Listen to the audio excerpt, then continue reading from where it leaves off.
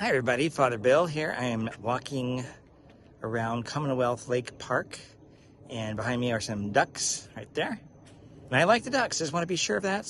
Though I'm wearing my beaver gear today, I'm on a walk, and I was just thinking as I'm walking, uh, of course, celebrating a little bit of the weekend that we had the ability to uh, celebrate two wins in a row for the opening season of our my Oregon State Beavers in football.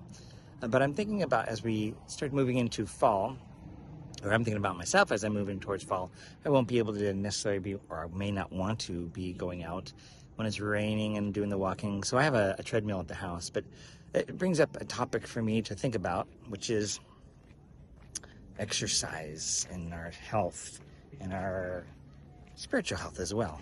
So, yeah. As we move into the winter season. It's fall right now, but as it starts to move into the winter season, it gets cold and rainy, and some of these things, you know, are not as easily done, not as fun. Uh, some of you may be uh, more uh, rambunctious about, you know, getting the rain gear on and doing that stuff. And I'm sure I'll see lots of people running in front of the house. I'll probably be on the treadmill. But it's part of uh, our spiritual walk that we take care of ourselves physically, spiritually, emotionally, all these different ways. And again, I will be the first to admit that I love to be a couch potato and snack on stuff I probably shouldn't snack on.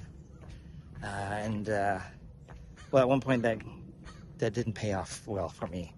Uh, I think what was it a couple years ago? It was about 109, 190 pounds, and I'm about 5'10. That's a little heavy. So I said I would work on doing something better than that and start curtailing how much I eat, start try, trying to exercise a little bit more. And uh, as I do so, that means, uh, of course, being mindful of how much um, I intake, what kind of food I do. So I started uh, changing some of my diet and more, even more so, walking. I used to run uh, when I was younger, but my knees are pretty well shot from being a high school teacher and going up, up and downstairs quite a bit every single day with a backpack. So walking is the less than the impactful kind of situation for me. But that's just one of the different ways to um, take care of myself. Um, but of course, also prayer is important as well. What are we doing? What are you doing to keep yourself spiritually and physically in shape? Think about that. What are those things? This isn't about counting the cost, but it is something that we need to be mindful of and recognizing that it is part of our whole being to be people of a mind and body and a spirit. So that spiritual spiritual part is important. Coming to mass is a critical part of that. Yep. But how about daily prayer? Daily prayer is an important part of our um, our well-being, our holistic well-being. I actually have a spot in the house that I have that points out into the backyard. Get to see some nature, and then I'll spend time in prayer. Prayer can be done through reading the scriptures. Uh, I do that when I prepare also for homilies in the morning masses.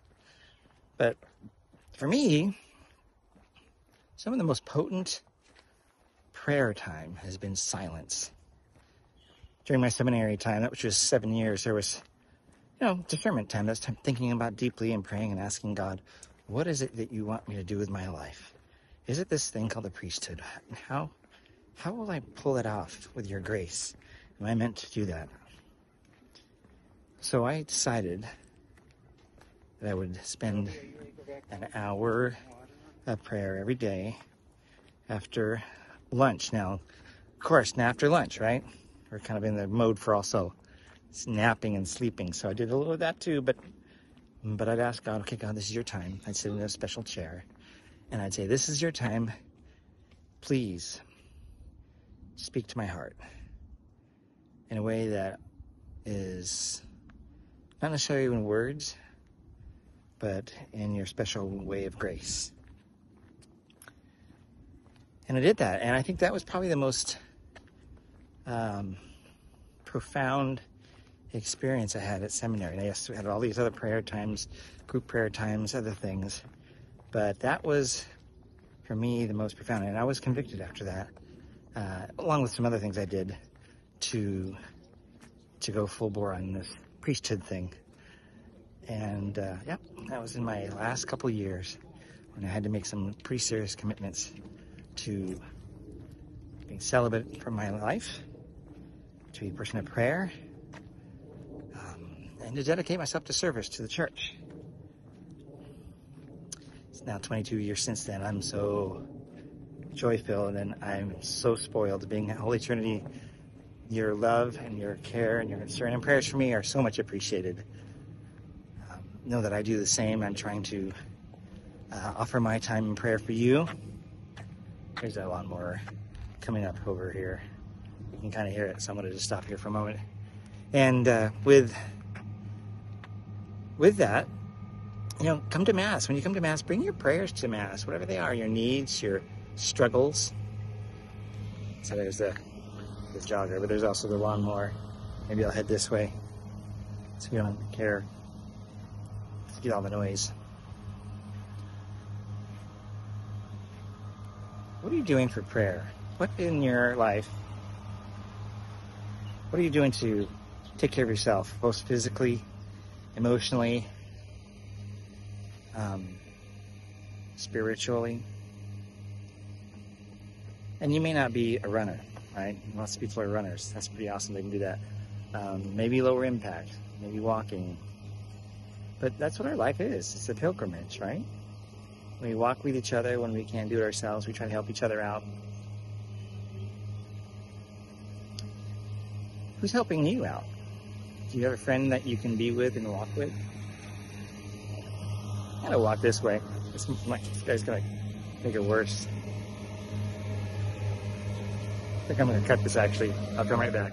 Okay, I apologize. I was getting distracted by that lawnmower. Uh, one of the things we need to be doing, of course, is praying and praying with somebody that would be really wonderful, a partner in prayer, maybe your spouse, that would be ideal, that'd be wonderful. But we don't always have that, so uh, we know we have a partner in the saints. We have a partner, of course, in our Lord. He will listen to our prayers. We know that. So, what kind of prayer do you like? What's your particular preference in prayer? As I shared, mine is silence and just listening. So our life is a pilgrimage. It's like a walk of life to heaven. And we have to be mindful of our physical, spiritual, mental, emotional, all of that together. So think about those things. What is it you're doing? And you might want to consider planning for this coming winter. How are you going to take care of yourself? And um, see what God's going to do. God has amazing plans for each of us. And if we're listening, He has much more to say than, than I know I do to Him. And He has more to say to you than you to Him as well. If we listen to Him, things will be different. So keep walking, keep listening, and take care of yourself. Bye bye.